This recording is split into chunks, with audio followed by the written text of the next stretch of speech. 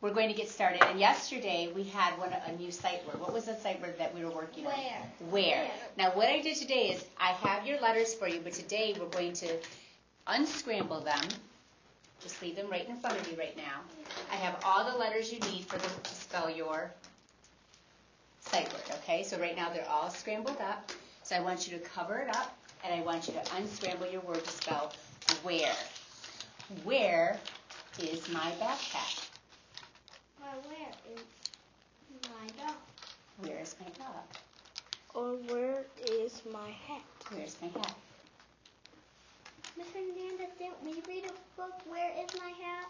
Yeah, we did have a book, Where's My Hat, when you were reading with me all by yourself. Yep. So we're all working on spelling the word where. And when you're finished, you can uncover your word.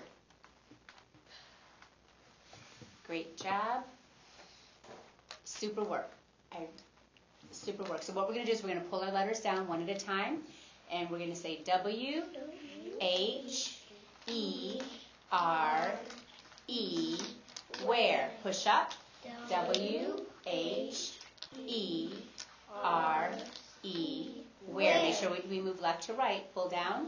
W, H, E, R, E, where. Push up one more time. W, H, E, R, E, where. Great job with remembering your word. Now, um, what was our book about yesterday? Where's my glasses? Where is my glasses? And what was that story um, mostly about? And the teacher lost her glasses. The and teacher- Will, and Will. The teacher kept losing her glasses, and the class would help her. Usually, Will would help her find her glasses. But at the end of the story, she was looking for her glasses, But they were on her face. but they were on her face, so they looked everywhere. And remember, Cordell thought that Will was trying to take her glasses off at the end of the book. Cordell, what re- really was happening? He tried to, he tried to show me. He was just trying to show her. He was pointing to them like, your glasses are right there. To his, see, that's what he told his teacher.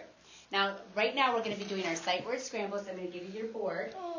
And I'm going to make sure that we scramble all these letters up. Scramble the letters up. I'll take them actually off the table. And I'm going to pass you your marker. You're going to cover up your board. Oh, it's pretty hard to cover up. Well, kind of, yeah. The best you can. And I'm going to take these letters out, okay? And then when I say go, you're going to unscramble your word, spell where. G O, go. Unscramble. What letter do you need first to spell where? Remember to cross out your letters after you use them so you don't get mixed up. You stay on track.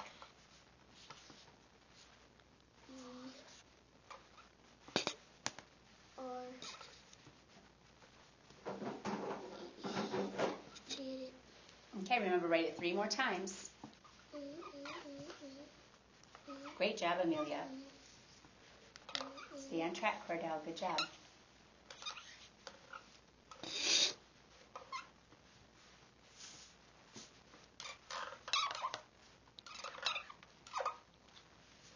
W H, what goes right here? Mm-hmm. Then what's next? Um, Mm-hmm. And what's last? E. Done. I wrote a bunch of times. You did. I didn't have enough space for that. That's okay. You need to write it at least three times. Mm-hmm. After you're finished, make sure you hear your marker click.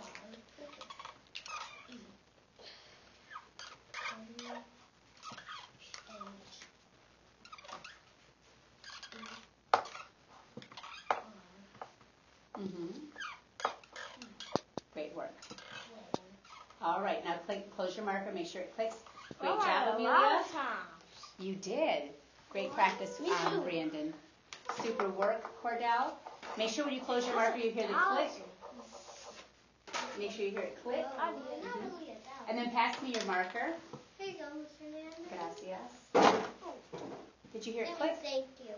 Thank you in Miss Spanish. Hernandez. Mm-hmm. Guess what I counted at home? What?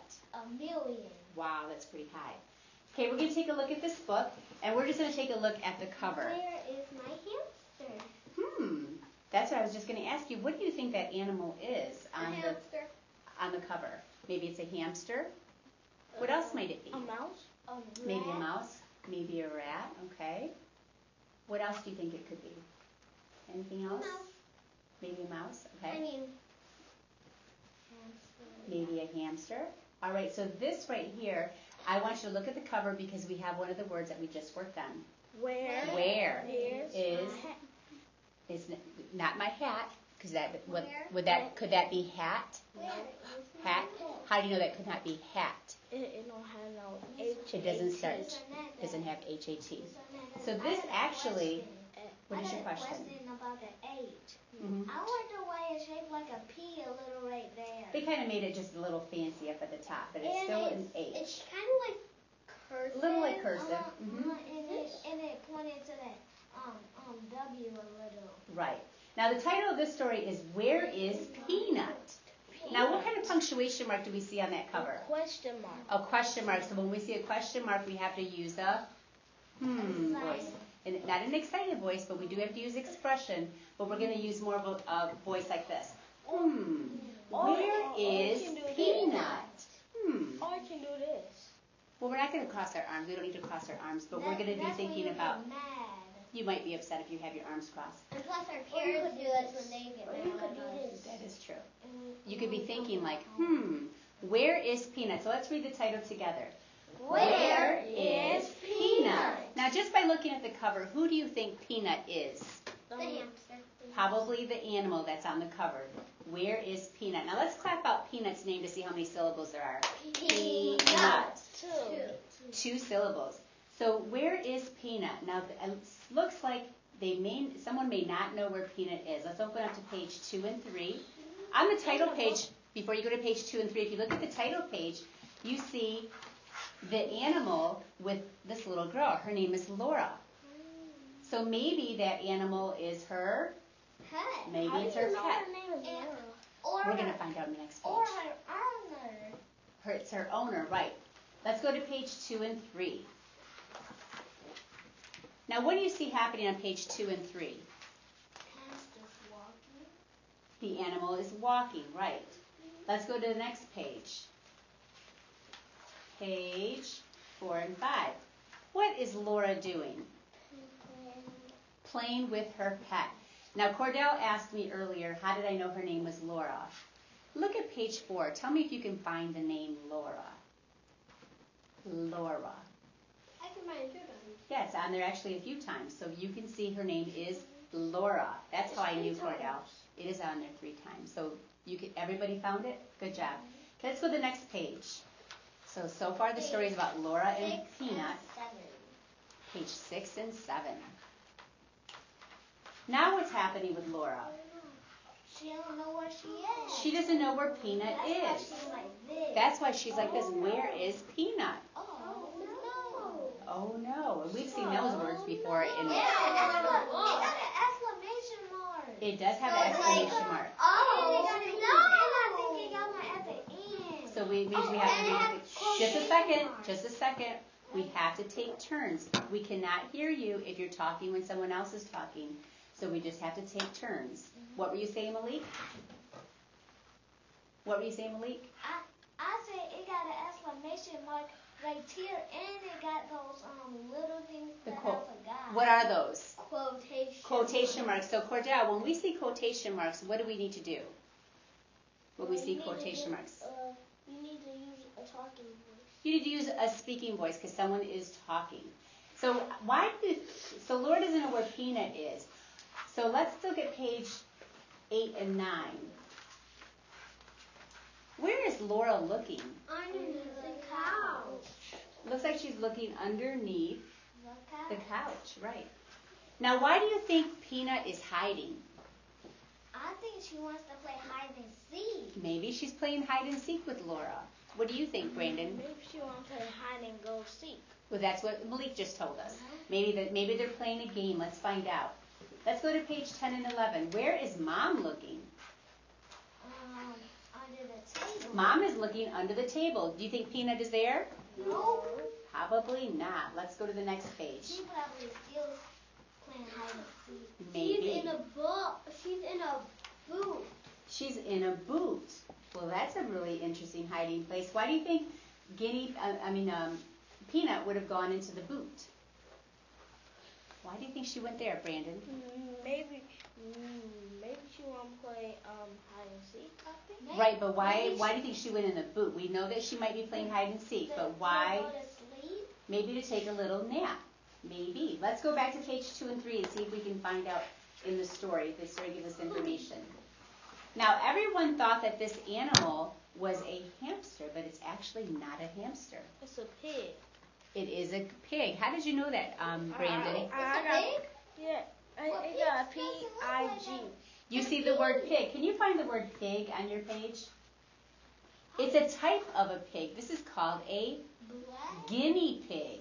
Oh, that's why it's black and brown. And Guinea it's so pigs can fuzzy. be black. They can be brown. It But look is the fuzzy. pig. The nose is right here. I know, but how is it? How is it a pig and it don't have the pig nose? It's just a different type of pig. They just it's a guinea pig. It's not like the pig that And you it would see at a the farm. curly tail. It doesn't have a curly tail. So what is it, what is something else? Now that you say that, what is something else that's different between a pig on the farm and the and the guinea pig that you see on the page? Um, What's a the pig difference? on the farm is pink and they don't have fur. Very and good. they have curly tails. It has a curly tail. What's a different observation that you see? What's the difference between the guinea pig on the page and the pig you would They see? don't have those kind of feet. Pigs on the farm do not have those kind of feet. Good job. Brandon? They do not have whiskers. And they don't have whiskers. They don't have that kind of fur. and they don't have fur. Good job. Now let's go to page two, and we're going to start uh, reading on page two, and I think I'll call on. We're back on page 2 Mhm. So we're going to read about Peanut. So Malik, can you start um, start us out, please? Yes, here is Peanut. Peanut is a guinea Mm-hmm. Great job on remembering what kind of animal that is, Malik. Let's go to the next page, and we're going to have um, on page four and five. Yes. So now here's Laura. She's with her guinea pig, and we're going to find out what's happening on this page. Mr. Cowens. Here is Laura. Peanut is Laura. So you see Laura, but what do you see at the end? Laura. But what, that's Laura, but what do you see at the end? What letter is that? So we have to have the sound at the end. Oh. Laura's. Mhm. Laura's Mm-hmm.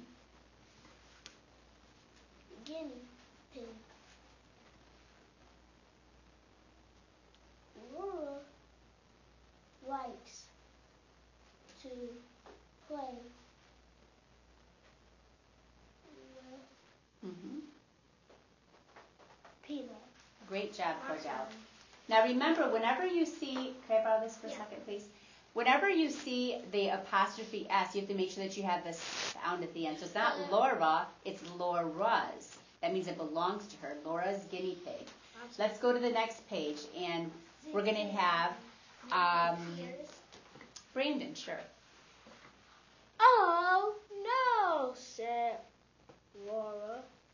Where is Peanut? Now, why did you change your voice when you used the red? Oh, no. It, it got an exclamation mark. It has an exclamation mark, right? So we have to change our voice. And, and, So she doesn't know where Peanut is. Let's go to page eight and nine. Miss Amelia. Peanut. Peanut, said Laura.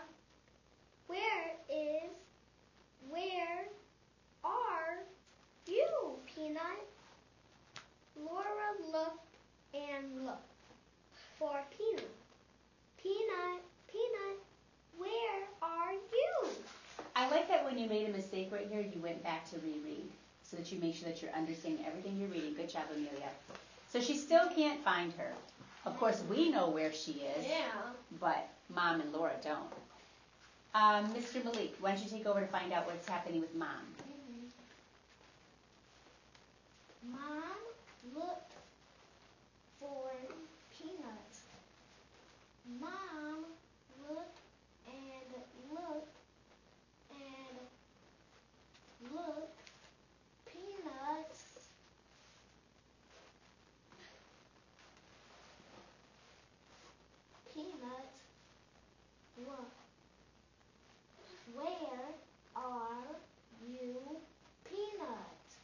Thank you for changing your voice when you saw those quotation marks, Malik. You want to take over, Cordell? Oh. Oh. Look, said Laura. Here is peanuts. And why did you change your voice at the end? I saw that there- there was quotation marks when someone was talking, but why did you say, "Here is peanut"? Why did you read like that? Because there's an exclamation mark. Because there's an exclamation mark. The group is doing so much better with reading with expression when we see quotation marks and not reading like a robot. Good job. Now, before we um, before we stop, I want to go back to the story, and I want to know if you can tell me what's one connection you made. Like, what is something that you thought about when we were reading the story about Peanut and Laura looking for Peanut? Amelia, I like that you raised your hand. When my hamster got lost, but he was just he was just underneath my dad's bed. So he was under the bed. Okay. Does anyone have have a different connection? Brandon. Um, um, um, um, when Kane, uh, got lost, but, but he was all the way down the street. Who's Kane? Uh, uh, um, uh, my, my grandma April new dog. Okay, so your dog got lost. Anybody else have a different connection? Cordell? It's a girl dog too. Oh, it's a girl dog. Okay, thank when you. I was playing with my dog. And so, I'm sorry, what did you say? When I was playing with my dog. When you were playing with your dog? That's what it reminded you of? Why did it remind you of you playing with your dog? Because when in the story she was playing with her dog. Well, She was playing with her, I mean, guinea pig, guinea pig. she was playing with her guinea pig. So it reminded you of a time that you were playing with your um, pet as well. It looked like a doggy. It- It could look like, I guess, maybe a little puppy, a small one, when it's first born. Okay, And great job today, group. over. And the bucket tipped over. And the bucket tipped over, yes. Okay, great job. We are going to um,